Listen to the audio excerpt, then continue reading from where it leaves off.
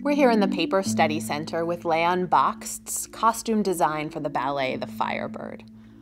Born Lev Rosenberg in Belarus, the Russian artist Leon Bakst is best known for his stage designs for the Ballet Russe, the pioneering company founded by impresario Serge Diaghilev in 1909.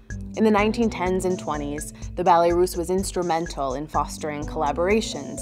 The company was responsible for the 1913 Succès de Scandale, The Rite of Spring, whose dissonant music by Igor Stravinsky and equally modern choreography by Vaslav Nijinsky shocked Parisian audiences. This costume designed by Leon Bakst was for the ballet The Firebird, which premiered in Paris in 1910. Leon Bakst was apparently so enchanted by this magical character drawn from Russian folk tales that he made several designs for her costumes, including this one, dating from 1913. The very finished, elaborate look of this drawing suggests that, rather than a real working study for a costume, this was more a finished work in which Bakst immortalized the look of the character that meant so much to him.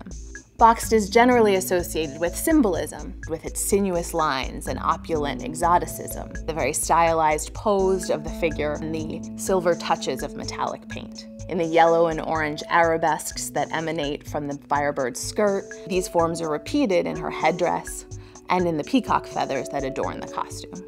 At the same time, there's a frieze-like flatness to the picture, as if this figure were compressed in the two dimensions of the picture plane. This effect is heightened by the flat, decorative pattern of the firebird's skirt. And this pattern comes from Russian folk art, which makes sense considering the ballet's source material and Bakst's heritage. But we might also think of this flat, geometric quality as being influenced by avant-garde aesthetics in Paris at the time, particularly Cubism.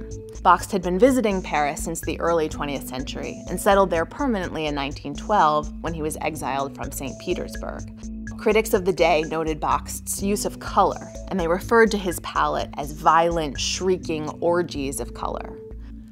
This drawing, then, speaks to the close relationship between mere decoration and real radicality that existed at this transitional moment for modernism.